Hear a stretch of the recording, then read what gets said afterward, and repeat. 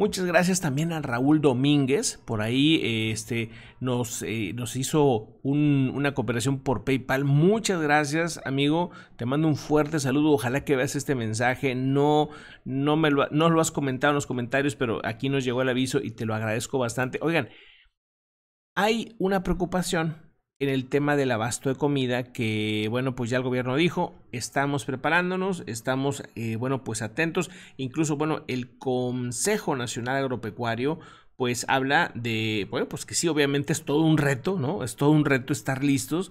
Es un reto, eh, bueno, pues prepararse para poder ante estas circunstancias tener el abasto listo, pero realmente pues está trabajando para que simplemente eh, todo haya en abundancia y que no tengamos problemas. También es importante que no actuemos en modo pánico, ¿no?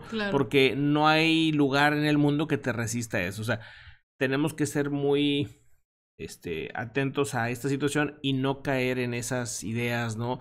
Y, y en empezar a compartir rumores de que es que no va a haber esto, no va a haber aquello, porque lo que pasó con la gasolina o lo que pasó con el papel de baño, por más ridículo que suene, pues muchas personas se dejan llevar por esas situaciones. Entonces, pues eh, no caigamos en eso. ¿Qué es lo que dice el Consejo Nacional de Agropecuario? Ahorita están en pláticas muy estrechas junto con el gobierno federal porque a partir de que entremos a la fase 3 hay que trabajar muchísimo, estar en cooperación.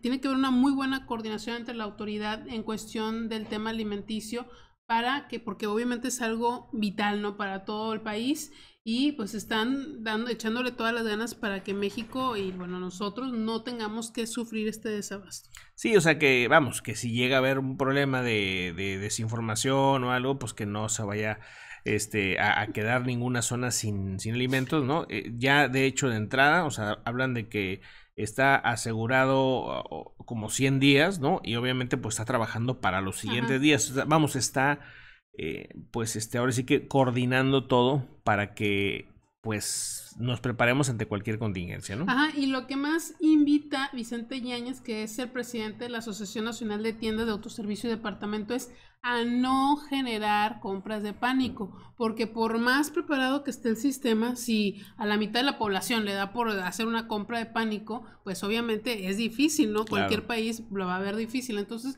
a mantener la calma, a comprar lo que realmente vamos a comer y no comprar verduras de más y que se nos echen a perder ahí, ¿verdad? Entonces, bueno, a estar conscientes que no nada más es para nosotros, sino es para toda nuestra comunidad.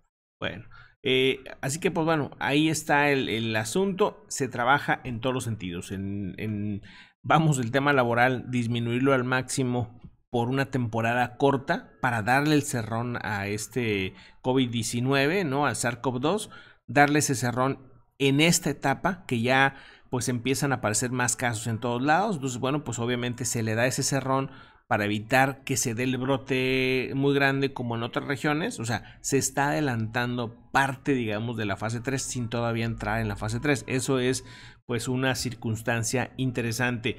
¿Qué les parece si, bueno, vamos a, a otra situación, a otro tema? No hay ya nada más de esto, ¿verdad? Sí, no, ya. Ok.